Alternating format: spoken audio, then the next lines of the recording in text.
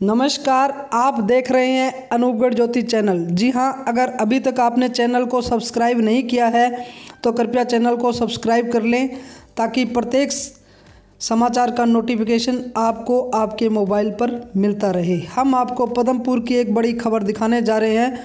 पदमपुर से घनश्याम हरवानी की रिपोर्ट के अनुसार पदमपुर से बड़ी खबर, पब्लिक पार्क बना जुए का अड्डा। दिन भर ताश के पत्तों पर सरेआम बेरोटक चलता है जुआ।